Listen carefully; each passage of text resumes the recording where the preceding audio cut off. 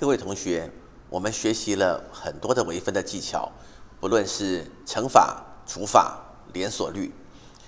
但是还有两种类型，我们常常见到，我们还没有真正的去学习。一种就叫做隐函数的微分。